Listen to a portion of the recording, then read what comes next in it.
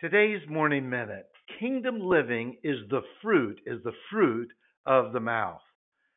You will eat, you will eat what you speak. Your mouth is the engine by which you bear fruit in your life. What fruit are you speaking into your life? Are you speaking life or death from your mouth? You have a choice as to what you speak. You may you may be sick, you may have a headache, you may be emotionally burdened, yet what you speak will steer your direction? Are you speaking into your life what God says? Are you allowing your emotions, feelings, and body to speak? Or are you allowing the Spirit of God in you to speak? When you allow the Spirit of God in you to speak, all heaven will open up for you. Jesus said in Matthew 15, verses 10 and 11, Jesus called the crowd to him and said, Listen and understand.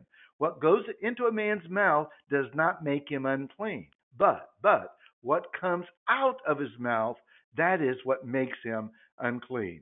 From the fruit of his mouth, a man's stomach is filled.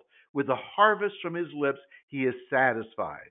And in Proverbs 18 20, 21, the tongue has the power of life and death, and those who love it will eat its fruit. He who guards his mouth and his tongue keeps himself from calamity. Proverbs 21 23 and in Matthew 12, verses 33 to 37. Make a tree good, and its fruit will be good. Or make a tree bad, and its fruit will be bad. For a tree is recognized by its fruit.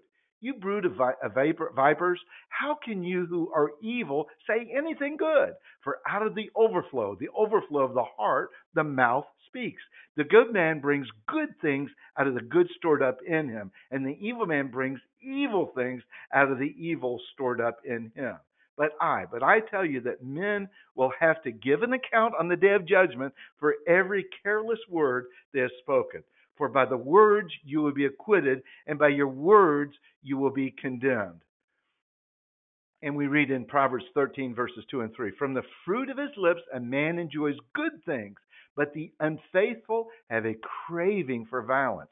He who guards his lips, mouth, guards his life, but he who speaks harshly, rashly, will come to ruin. And in Proverbs 15:23, a man finds joy in giving an apt reply, and how good is a timely word.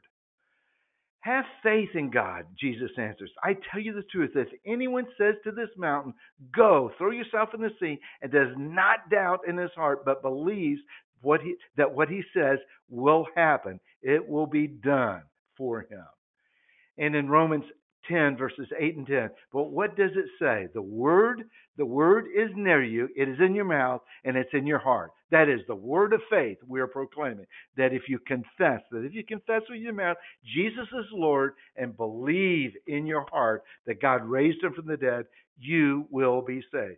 For it is with your heart, it is with your heart you believe and are justified, and it is with your mouth, with your mouth that you confessed, you are saved.